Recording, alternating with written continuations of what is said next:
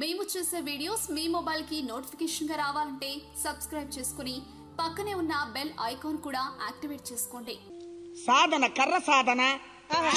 తాలిని కుస్తీ అన్ని నేర్చుకున్నాడు చిన్నపరెడ్డి. అవునే. ఆ కర్ర సాటున శరీరం అంతా దాసి వచ్చే పాలే గాని చేతుల వీటకట్టును గుంజుకొని మాత్రం అందుసాపులు ఒకరిని అవునే. ఒక్కటే పోటు. ఆ పోట్కి దిగవ పన్నవాడు మాత్రమనగా పైకి లేకుండా ప్రాణం వదిలినాడయ్యా మోటాటోళ్ళ మనిషి. ఎప్పుడు మోటాటోళ్ళ మనిషి ప్రాణం వదిలినాడో మరీ చిన్నపరెడ్డికి వాళ్ళు ఏం కావాలా? సొంతము దాయాదులు. దాయాదులు అంటే చిన్న ఆయన పెదనాయన పిల్లోళ్ళు. ఈ చిన్నపరెడ్డి తండ్రి పెద్దవాడు. మరి మోటాటోళ్ళు అంటున్నాడు కదా ఆయన చిన్నవాడు. ఎప్పుడైతే కింద పడిపోయినాడో చిన్నపరెడ్డి బండిని తరలించారు పరార్! సావంగా దొరికిన వాళ్ళు ఎంతమన్న జనం మాత్రం పరారైపోయినారంట. ఎప్పుడు పరారైపోయినారో చిన్నపరెడ్డి దిగులు పోతా అంటే ఏమంట దిగులు పోతాడు? ఎక్కడి దాయాదులే నన్ను చంపేదా? ఇల్లు చెట్లలో ఉన్నా ఇంత నాశనం బన్నా? ఈ పత్తి పాడు. పట్ట పగులు అగ్గి పెడతా. ఆ రెడ్డైన వన్నా. రెడ్డి కోపాలిరణబా రెడ్డి వలిగిన. లేశారమనగా పత్తి పాడు వదలిన. రెడ్డి పాలెంగు చేరా. ఓ తండ్రి ముసలారేడి తల్లి అలివేనం. నీకు సలహాము అన్న జరగరాని ఘోరము జరిగింది చిన్న ఆయన కొడుకులు మింద పడితే కోపం భరింపలేక ఒకరిని చంపేశానమ్మా అన్నాడు. కన్న తండ్రి ముసలారెడ్డి చూశాడు కుమారా ఏమి దుర్మార్గం వచ్చారా చిన్నపరెడ్డి నీకు? ఎందుకు చంపుతీవి నాయనా? చంపకపోతే నన్ను చంపేచితి ఉంది. అందుకని చంపాను నాయన. అయినా ఈ పత్తి బాటల్లో మనకు ఏ పొద్దైనా ముప్పే. ఇంకా చేయి చేసుకున్నాము కనుక సంపూర్తిగా విద్య మాత్రం అనగా చేకూర్చురా అన్నాడు. అయ్యా ఇక చచ్చిన వాళ్ళ మనుషులున్నారు కదా. గుంటూరు పోయి కేసు పెట్టారు. కేసు మామూలుగా పెట్టారా? లక్షల లక్షలు లంచాలు. ధనం ఎప్పుడు కట్టినారో చిన్నపరెడ్డిని మాత్రం అనగా ఎంటమ్మడే చిన్నపరెడ్డిని మాత్రం అనగా అరెస్ట్ వారంట్ అన్నారు. పాలగాడు చిన్నపరెడ్డి దొరుకుతాడా? అప్పుడు ఆడున్నాడు చిన్నపరెడ్డి? సలవారా బల స్నానమాడరా బయలుదేరా చిన్నపారెడ్డి.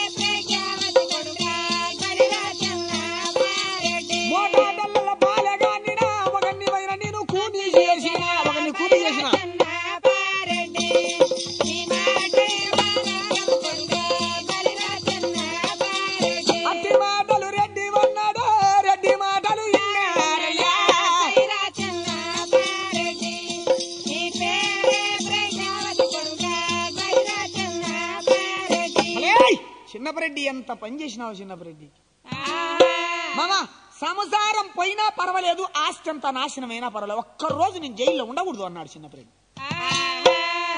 అయినా వకీలు కదా? సరే అని చెప్పి పెద్ద పెద్ద దొరలకు లక్షల లక్షల లంచాలు ఒప్పుకుంటున్నాడు ఎవరు?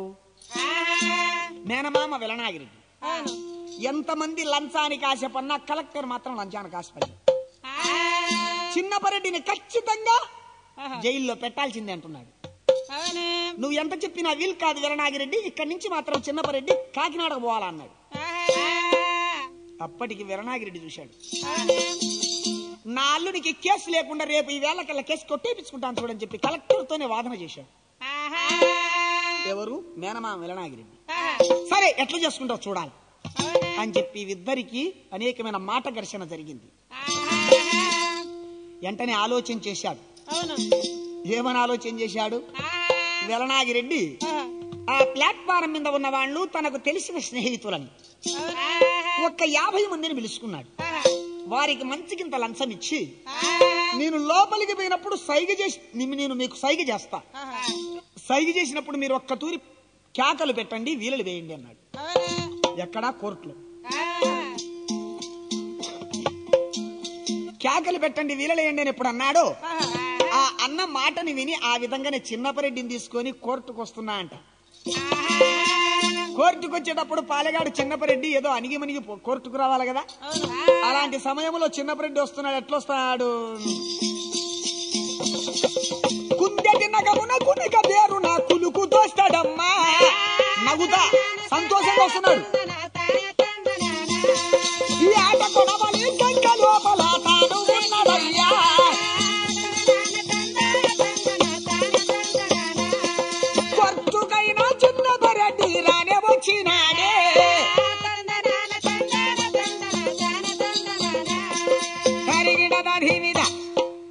తీసుకొచ్చాడు చిన్నపరెడ్డి. చిన్నపరెడ్డి ముఖం చూస్తానేమన్నారయ్యా పెద్ద దొరలు. ఇన్నాళ్ళ ముంచి నువ్వు ఎందుకు ఆదరగాలే? మళ్ళా నోరెత్తి మాట్లాడనందుకు రవరే చిన్నపరెడ్డి అన్నారు. ఒరే చిన్నపరెడ్డి అంటానే చిన్నపరెడ్డి కండ్ల మీద రక్తం ఎర్రగా పొరలు కమ్ముతాడాయి ఎంతటి పాలెగాని నన్ను ఒరే అంటాడు ఈడు?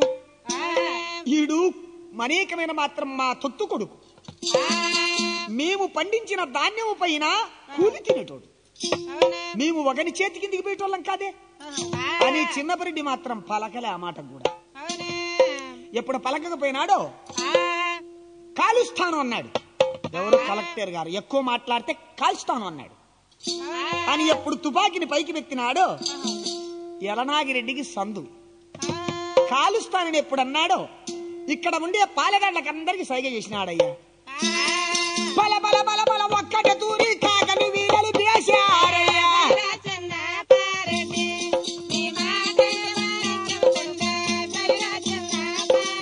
కలెక్టరు కాల్చుతానన్న వాడవైన నువ్వు కాల్చాలయ్యా. నువ్వు కాల్చుతావు కాల్చాలంతే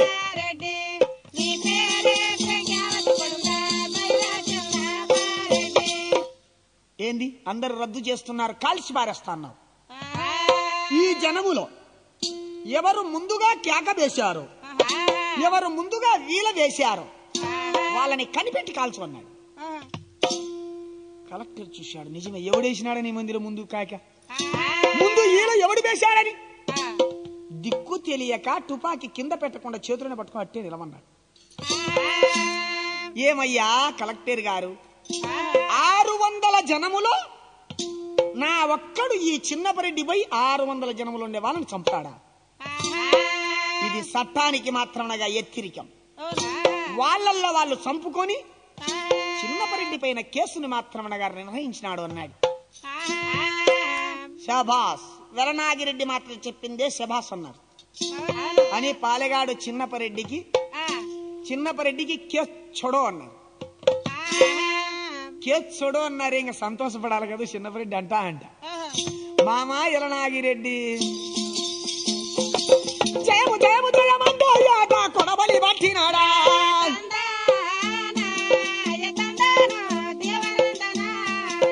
ఇప్పుడు నాకు నువ్వు సెలవు ఇస్తేవా? ఇప్పుడు నాకు సెలవు ఇచ్చినావు అనుకో ఈ కలెక్టర్ తలకాయ తీస్తా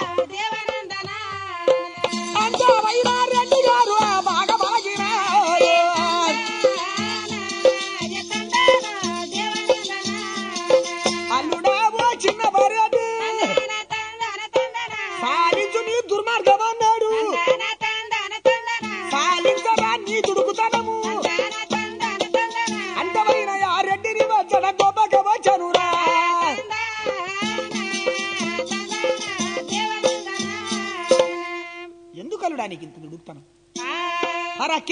కొట్టేసుకున్నాం ఇంకా బా.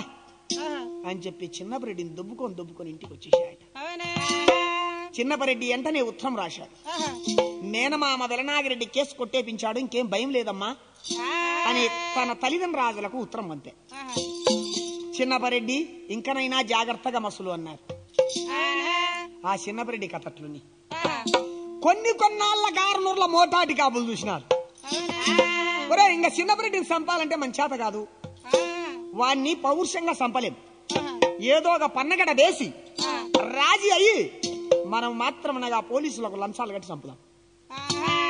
అని చెప్పి ఆరునూరుల మోటాటి కాపులు నేరుగా ఎక్కడికి వచ్చారయ్యా విజయవాడ గ్రామానికి వచ్చారు అప్పుడు చిన్నపరెడ్డి ఆండాడు రెడ్డిపాలెంలో ఉన్నాడు ఎద్దుల కాడ మేనమామ దగ్గర లేడు. మరి మేనమామ వాళ్ళకు మేనమామే వీళ్ళకు మేనమామే కదా? ఎలనాగిరెడ్డి దగ్గరికి వచ్చి ఆర్నూర్ల మోటాటి కాపులు. శ్రీధర కేశవ సీతారమణ మాధవ గోవింద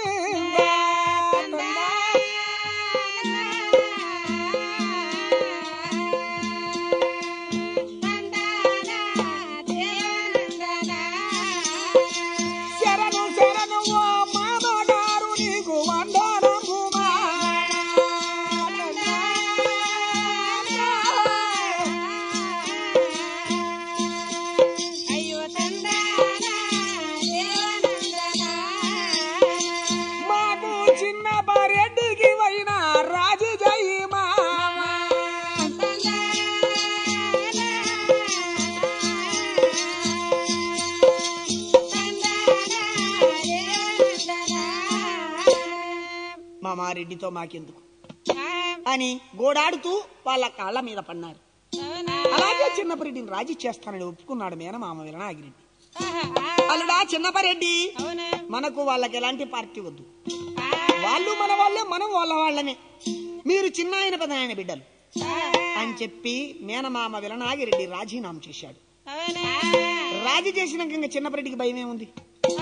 ఏట గొడవడి రైపోలు తీసుకొని పాలెగాడు చిన్నపరెడ్డి.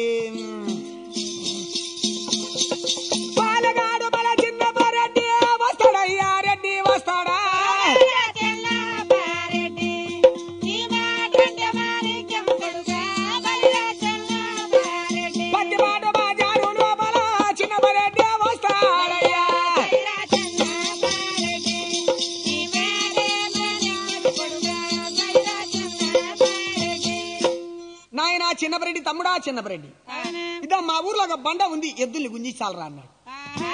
సరేనయ్యా ఈ బండకు రెండు ఎద్దులు ఎందుకులన్నా ఒక్కటే ఎద్దుని కడతా అని చిన్నపరెడ్డి ఒకే ఎద్దుని కట్టినాడు అప్పటికి ఏం చేశారు? ఒక అనేకమైన మాత్రమనగా మోటాటి కాపులు ప్రమీసన్ పోలీసులకు లంచాలు కట్టి చిన్నపరెడ్డిని చిన్నపరెడ్డి ఎద్దుని కలిసి పారేయండి అన్నారు. ఇంకా బండ మీద కూర్చొని చిన్నపరెడ్డి ఎద్దుని మాత్రమనగా తరలిస్తున్నాడయ్యా.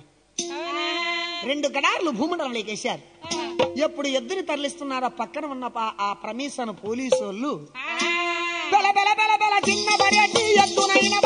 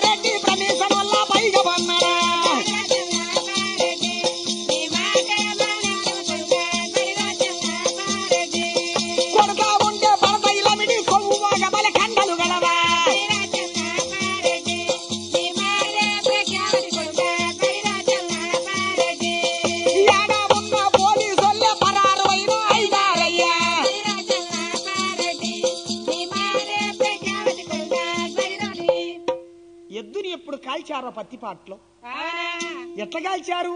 బండని గుంజిస్తామని ఎద్దుని కట్టిన తదుపరి కాల్చారు. పోలీసు వాళ్ళ మీదకి చిన్నపరెడ్డి ఏట కొడవలు తీసుకుని వెంటమన్నాడు ఎర్ర టోపి ఏడగలపన్నా నరికి పారేసేది.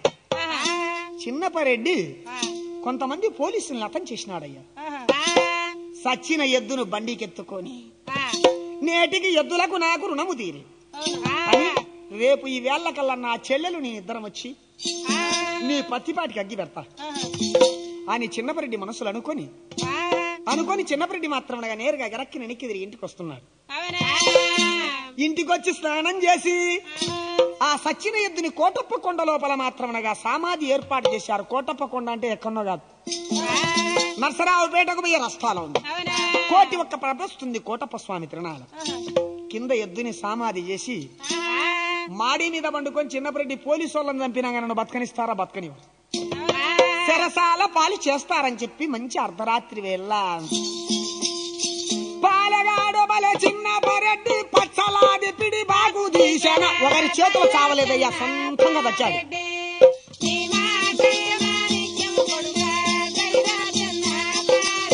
పాలగాడు చిన్న పొరెడ్డి పచ్చల పిడి బాగుని విసిరి పైకి వేశాడు.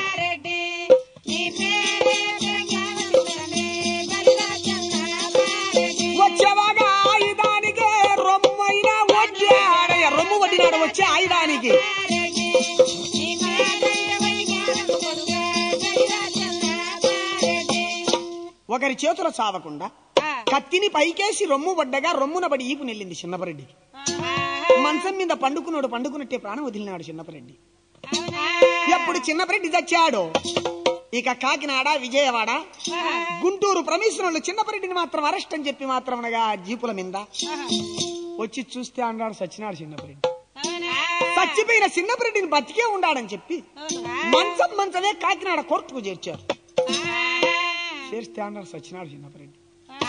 ఎంతటి పాలెగాడవయ్యా చిన్నపరెడ్డి? అయినా పోలీసు వాళ్ళ చేతికి దొరకకుండా స్వజాతుగా తెచ్చాడు చిన్నపరెడ్డి పాలెగాడనిపించుకొని పాలెగాడు చిన్నపరెడ్డి పోలీసుల చేతికి దొరకకుండా స్వజాతంగా దాచాడయ్యా.